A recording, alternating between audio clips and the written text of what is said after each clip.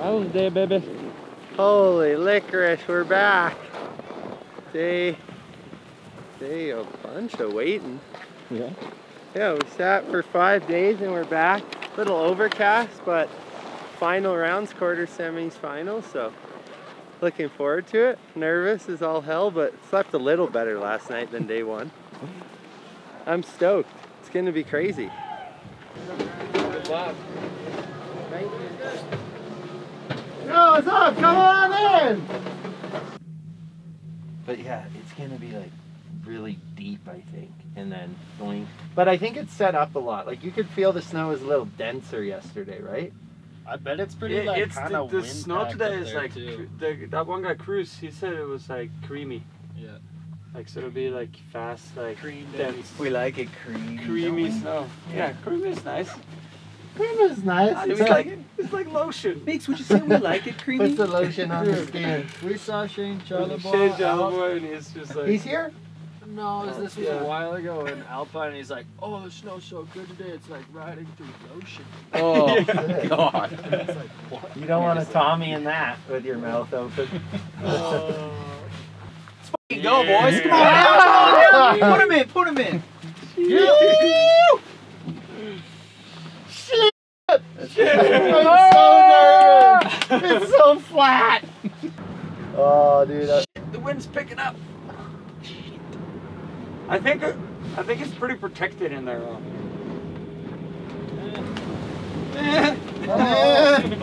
Yesterday was pretty nice now that I think about it. should have ran it yesterday. Yeah. should have got a look.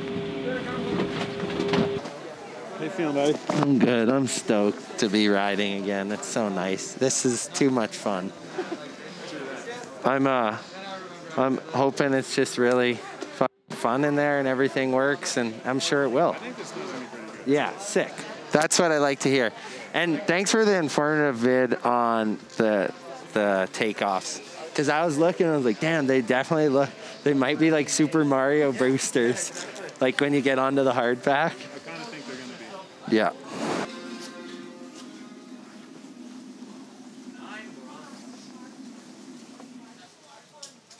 going into this after getting to watch Ben's run.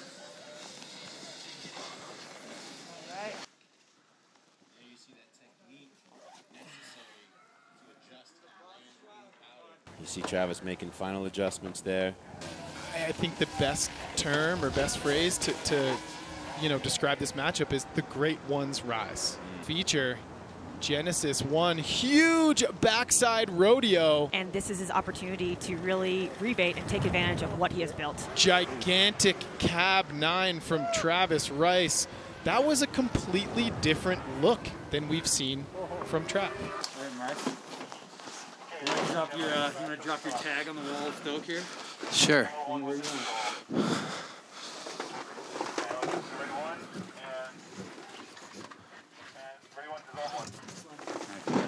No worries. And then what's your, uh, what's your line? You think? I'm gonna go to the left. Go to the left.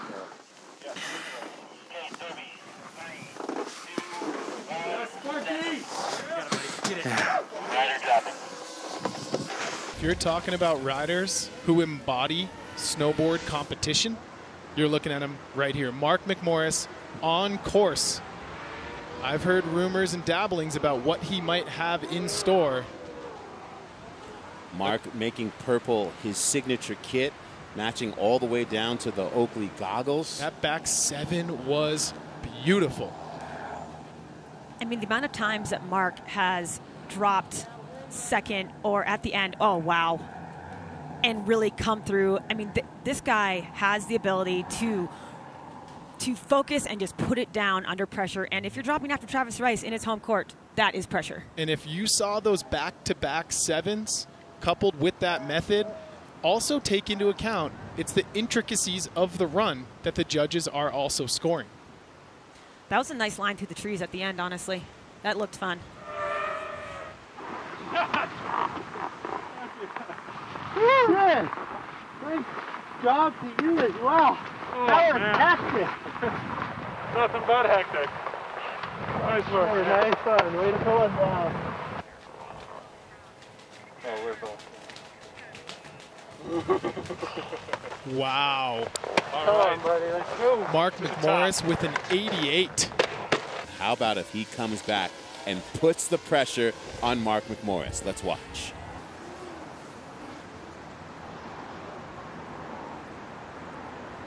Cab 540 into a frontside three. Power, speed, and strength. That is Travis Rice. Double backflip from Travis Rice. This isn't the time to lay back. This is he's got to put it all out there. He's got a good run to to lay, lean on, but he can't he can't rely on it being 100%. He doesn't even know what layback means unless it's a slash. I've not seen him in anything other than a purple variation kit, signature color. Wildcat to open up. Mark taking the riders left side of the course. There's that backside 720. Perfect landing. Mark's feeling good as we start coming into the more open part of the course. Into the front side seven, similar to his first run, and pay attention to those turns in between. So there's that cab underflip. And Mark stayed on his feet. If he can continue this run, I think he's going to advance. That was four big tricks. It's over. Oh, shit. Oh, hell yeah, buddy. Yeah, Trav. Nice work, bro. Thank you. Way to keep it clean. Hey, dude, double keep it- backy. What? What happened? Oh, dude, whatever. I, I was anticipating what you were going to do. I knew I had to step it up. This guy, huh? How solid is this dude? This guy bringing us here to Jackson. How lucky are we? oh, Moving on, baby. love you, Trav. Yeah, you too, my friend.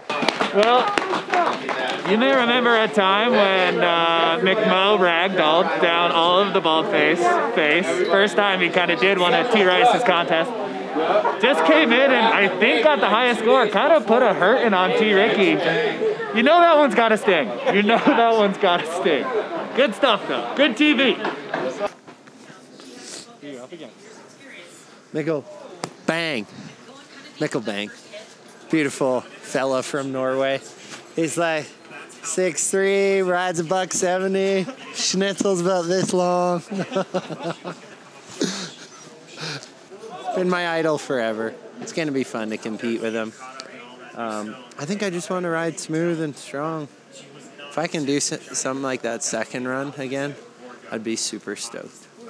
How you feeling going up against Mark? Oh, it's it's exciting, dude. He's been running so well, and you know he's he's so good at competing. So I just got to make sure to land my my run, and then try and enjoy myself. For that's the most important part. Yeah, Meeks, have fun, brother. Oakley, Burton, LibTech, Quiksilver. And really, the alliance is to provide the athletes in the tour with resources so they can go out on the mountain and do their magic. Known for having some of the best style in snowboarding. We saw it in the first run with that switch method. Oh! All of these athletes safe in case of falls. Oh my god. That was more than a nose tap. You're riding natural terrain like this, so really appreciative. Yo. Good to see Mikkel back up on this course, landing, switch. Oh, he wants my cab five? Oh, yeah, you do, bang bang. Oh, shit. Dude, he hit the. I wonder how his base is. That was crazy. I am so glad he's all good. That was a rogue one. Sending mini spins on these side hits was so amazing. He's just he's he's flawless. I heard there were some heavy dick stitch sessions going down the Oh, yeah. last few days. All right, Mark starting off with a Wildcat and no problem landing that and riding away clean. Beautiful backside seven, getting a little bit off axis. Making it look pretty easy right now. Ooh, I think that might have been my fault. down on the front seven. The announcer curse, we've heard about that. Hey, but I have to say, is that a little bit of sun coming out? It does look brighter up there right now. It's still snowing in the announcer booth, but it looks brighter up there. Underflip for McMorris coming into the to the uh, base here. Half cab, front one, backflip. I'd say he was squeaking everything he could get out of that run. Yes, 100%. Yeah, yeah, that was gnarly though. Oh, yeah. He's home. Yeah. Oh. Oh, so for run one, Mark with a 64.6, Mikkel with a 60, and that's with falls. Holy shit, dude. I just went a little too fast on that front seven. I kind of got fucking smoked. Relax, buddy. Huh? Just gonna relax. Yeah, exactly. Everything was pretty clean up until then, though. Just gotta relax. Mikkel Bang, second run. This is it. This is his final chance. Rock ride or at least tap it. Like these are going a long way for him, and that's why we're still watching him. Here he comes into that hit. Oh, and he holds on to it. Yes. Today was not familiar with Mikkel Bang before now. Definitely look moment today. And there you go. He did a backside five, and he rode switch the whole way down until he found another hit to do a cab five. Did you tap it, Rob? Yeah. All right, Mark McMorris on course. Yeah, such a different headspace. I mean, usually if he's dropping last in this kind of situation, he's like, okay, there was a 12, a double cork 10. Now it's like, okay, there was a rock tap and switch turns. I'm nervous. There we go. Back seven, looking as clean as ever.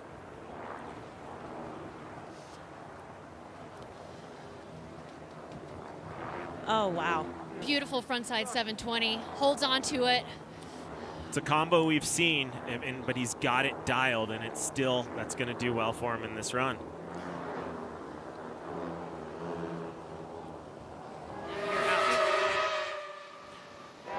This Yeah, I mean, nice one. Yeah, sir. Execution overall control. This is a brutal, brutal situation for the judges. Yeah, Wow. Wow. Oh. Uh-oh. Look at those scores. Love you, buddy. Love you, bud. Let's go. Wow, dude. Uh, this is the finals, ladies and gentlemen, here at Natural Selection. And look at those two names Ben Ferguson matching up against Mark McMorris. The way Ben has been riding today, he might have the advantage. Sometimes it's better just to go. You know what you want to do. Just go out and do it. Find your line on the course. So Ben Ferguson on course. First run of men's finals, cab underflip. Into that front side 540, and he goes down. I imagine that uh, that Mark is uh, watching that, going, "Okay, okay, the door is open." I mean, think of the riders that these two have already eliminated, eliminated today. You know, Mark took out Travis Rice. Uh, ben took out Sage Kotsenburg. That backside nine, that's why. Ben is on one today. Yeah. He came with a different mentality. Yep. Leading up to this.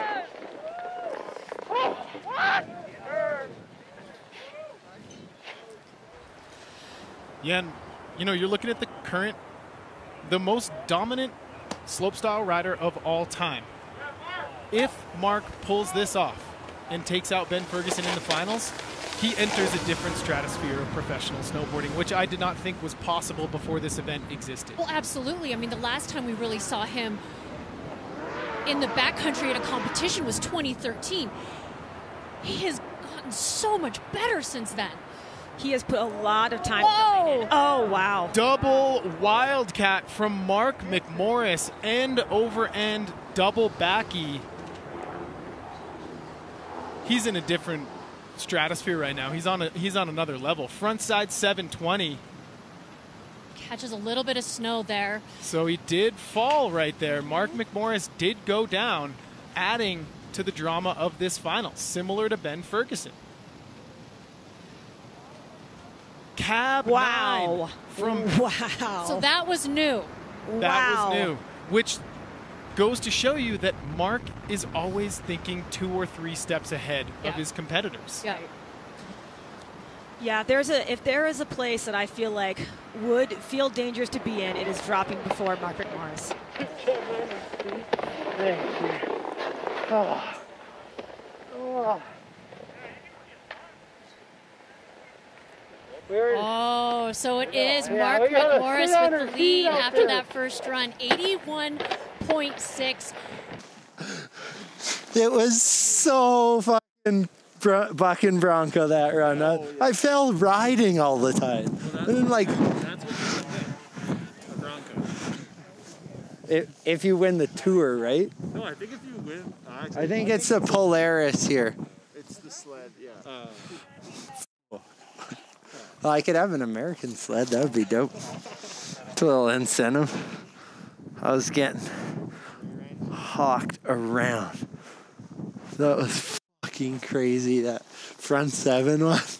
Dude, front seven, you keep landing in the same track. I know. It's hard, to, like, and I'm taking off far on the right, but like, it just like shoots you. I swear the takeoff is like, um, maybe this time, if I go, if I go cab five, double cat, back seven, maybe, then I could touch a bit more of that right landing. Would you go cab nine on the last one that time? Yeah, on the last day. Um, yeah, I don't know. Yeah, I'm sure they did, but I, that was a fucking, that was crazy that I did that. I was like, wow, I just landed a cab nine on that. That was so crazy. Well, you know, like I, those are the only two 900s of the contest, Ben and I. Yeah, we'll see. I think. I think I should keep the cab five to double backflip. Yeah, I like that. Yeah, Fergles. To the bottom. Yeah, let's get it. and it is a new game with a tiebreaker. And I know at home you're, even if you're a Mark McMorris fan, you're rooting for Ben Ferguson in this run so we can get more snowboarding. and it the pressure doesn't get to Ben. He's stood at the top of every major snowboard contest in the world. Let's see if he can put one down. Cab 540 into the front side five.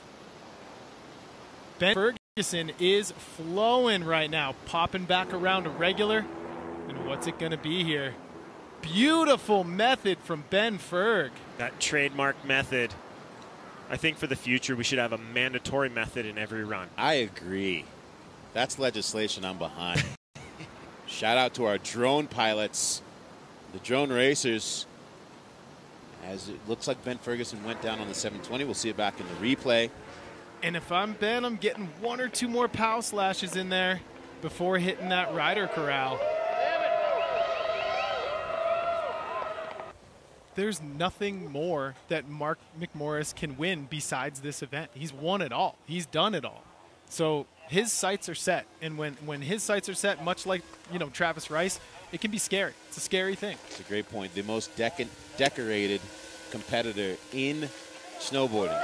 And as we heard from competitors uh, like Sage earlier, mentioning that a win here would have been more uh, important to him than a, another gold medal in the Olympics. I mean, this event carries a lot of weight in the snowboard world.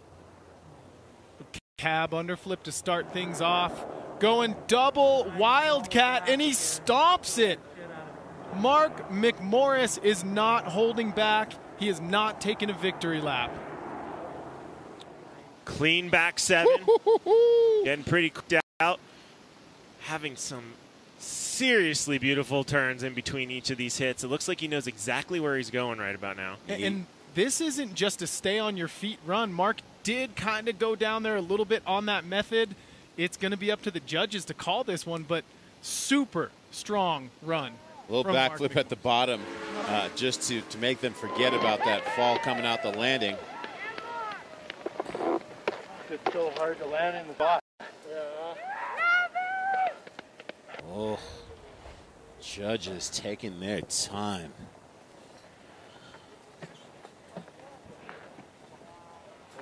And it is official. You too, man. That was fucking awesome.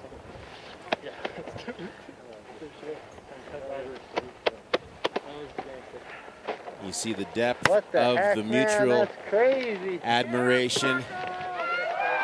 But Mark McMorris, what else can this man do in professional snowboarding? Honestly, couldn't have gone better. I was able to stay on my feet for the majority of the contest. There was that first run in the finals was probably my most technical run, but had some bobbles. Um, but I'm I'm so stoked on the way I rode. I'm so stoked, stayed safe, and I'm just proud of snowboarding today. It was a great day, and never in my wildest dreams did I think I could win this natural selection. So when those kind of moments happen, that's just like the greatest feeling on earth. You don't know how to feel really. I just like I'm completely shell shocked.